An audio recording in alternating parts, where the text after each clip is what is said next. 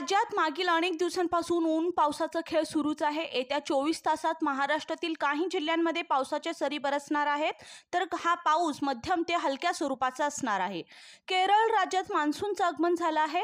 केरळनंतर महाराष्ट्र राज्यातही पावसाची हजेरी लागणार आहे. असा अंदाज हवामान विभागानं वर्तवला आहे. येत्या दहा दिवसात राज्यात मान्सूनची सुरुवात होईल. यामुळे लवकरच नागरिकांना उन्हापासून सुटका मिळणार आहे.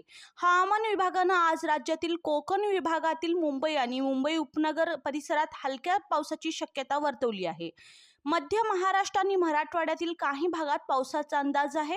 राज्यात पावसाची सुरुवात होणार असल्यानं शेतीपूर्वीची कामं करून घ्यावीत असा सल्ला भारतीय हवामान खात्यानं दिलाय.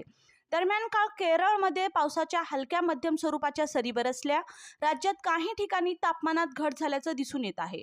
हवामान विभागानं राज्यात सात ते दहा जूनपर्यंत पा मान्सून दाखल होईल असा अंदाज वर्तवला आहे.